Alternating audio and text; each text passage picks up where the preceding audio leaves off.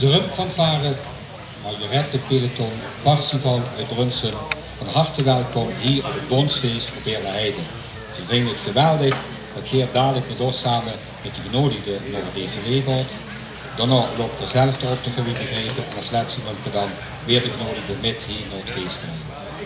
Enorm bedankt, je kunt dat absoluut waarderen. Dankjewel, veel plezier. Pascal? Mag ik dan de optocht nummers 1 tot en met 5 vragen om zich op te stellen voor de tribune en ook de koningsparen om zich allemaal voor de tribune op te stellen.